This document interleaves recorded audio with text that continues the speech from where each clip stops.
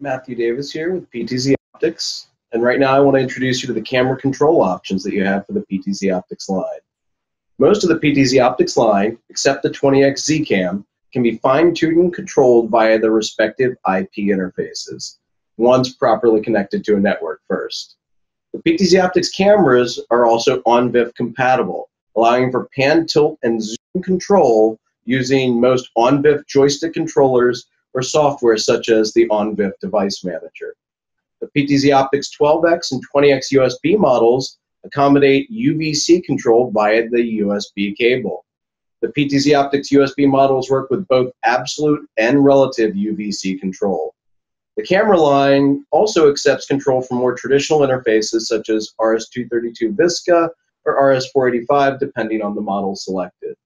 I hope this information has been helpful and watch our next video.